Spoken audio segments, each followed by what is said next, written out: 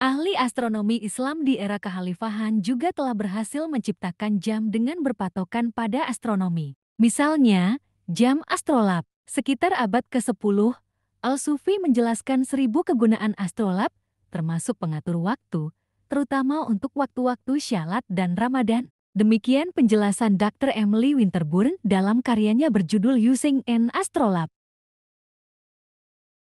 David King dalam bukunya bertajuk The Astronomy of the Mamluks menjelaskan bahwa Ibnu al-Satir menemukan jam astrolab pertama di awal abad ke-14 Masehi. Malah, Al-Jazari pun menciptakan jam astronomi.